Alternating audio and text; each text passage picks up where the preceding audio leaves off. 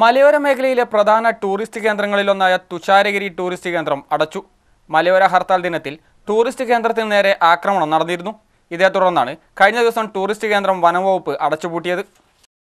മലയോര മേഖലയിലെ പ്രധാന ടൂറിസ്റ്റ് കേന്ദ്രങ്ങളിലൊന്നായ തുഷാരഗിരി ടൂറിസ്റ്റ് കേന്ദ്രം വനംവകുപ്പ് അടച്ചു.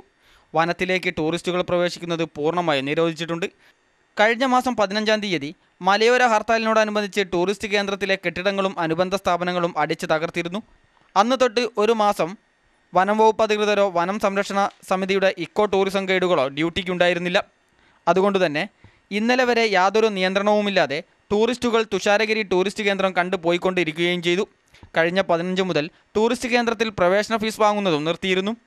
പതിനഞ്ചാം തീയതിക്ക് ശേഷം ഇന്നലെയാണ് വനംവകുപ്പ് ഉദ്യോഗസ്ഥർ തുഷാരഗിരിയിൽ ഡ്യൂട്ടിക്ക് എത്തിയത്. ഇന്നലെ എത്തിയ വനംവകുപ്പ് ഉദ്യോഗസ്ഥരാണ് പ്രവേശനം നിർത്തിവെച്ചുകൊണ്ടുള്ള അറിയിപ്പ് ബോർഡ് പ്രവേശന കവാടത്തിൽ സ്ഥാപിച്ച് മടങ്ങിയത്. ഇക്കോ ടൂറിസം സെന്ററിലേക്ക് പ്രവേശനം നിർത്തിവെച്ചിരിക്കുകയും ചെയ്തു. അതിക്രമിച്ച് കടക്കുന്നവർ ശിക്ഷിക്കപ്പെടും എന്നെഴുതിയ ബോർഡാണ് സ്ഥാപിച്ചിട്ടുള്ളത്. തുഷാരഗിരിയിലേക്കുള്ള പ്രവേശനം നിർത്തിവെച്ച വിവരം വാർത്താമാധ്യമങ്ങളിൽ മുൻകൂട്ടി അറിയിപ്പ് നൽകാത്തതിനാൽ വിവിധ നാടുകളിൽ നിന്നുമെത്തിയ നിരവധി ടൂറിസ്റ്റുകളും ടൂറിസ്റ്റ് കേന്ദ്രം കാണാനാകാതെ നിരാശരായി മടങ്ങുകയാണ്. തുഷാരഗിരി ഇക്കോ ടൂറിസം സെന്ററിലെ ജീവനക്കാരുടെ സുരക്ഷയ്ക്ക് സ്പെഷ്യൽ പോലീസിനെ നിയമിക്കുമെന്ന് സർക്കാർ പ്രഖ്യാപനം ഉണ്ടായെങ്കിലും പോലീസും തുഷാരഗിരിയിൽ ഡ്യൂട്ടിക്ക് എത്തിയിട്ടില്ല ഗാഡിയിൽ കസ്തൂരിരംഗൻ റിപ്പോർട്ട് നടപ്പാക്കുന്നതിനെതിരെയുള്ള സമരത്തിന്റെ ഭാഗമായി. ഇനിയും അക്രമം ഉണ്ടാകുമോ എന്ന ഭയപ്പാടിലാണ് വനംവകുപ്പ് ഉദ്യോഗസ്ഥർ. സി പ്രാദേശിക വാർത്ത തിരുവമ്പാടി.